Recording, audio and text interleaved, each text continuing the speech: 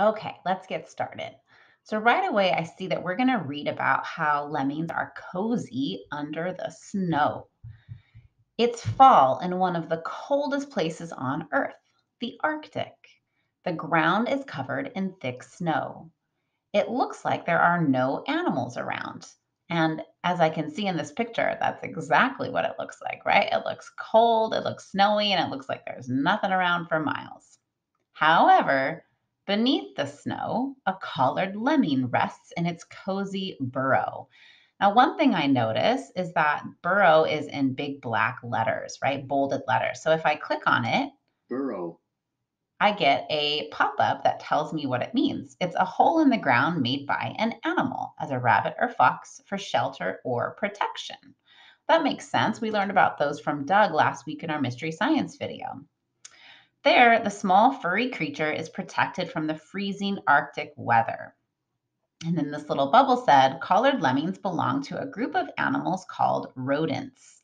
This group includes mice, rats, and hamsters. Oh, so another really cool thing that you can start to do while you're reading is make connections to your real life, right? So when I hear the word hamster, I immediately think of a hamster that I had when I was in sixth grade.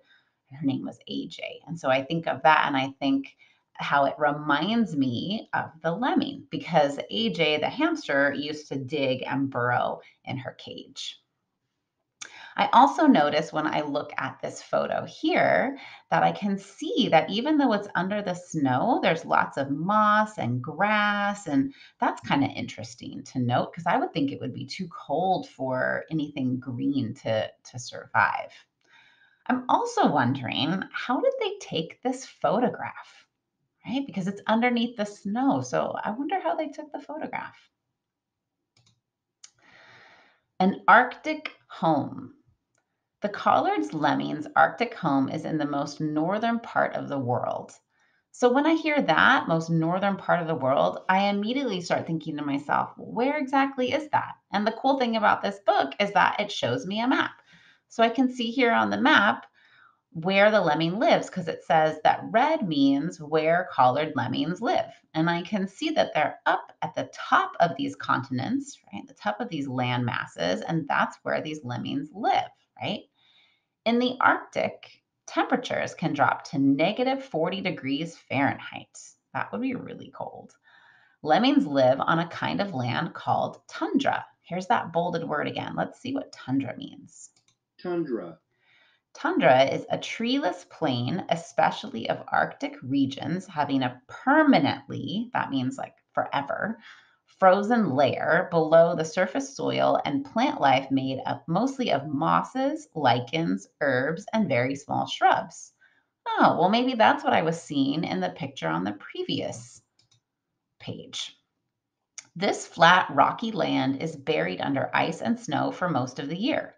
No trees grow on the tundra, and only a few tough plants can survive there. Well, I would imagine they'd have to be tough if it's so cold, right? Here's a picture of a lemming, and it's pointing me to its pale fur around the neck. Oh, kind of like a collar.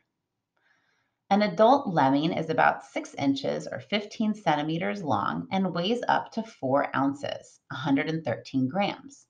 It has pale fur around its neck that looks like a collar. That's how the animal got its name. Well, that makes sense. Okay, I didn't know that before.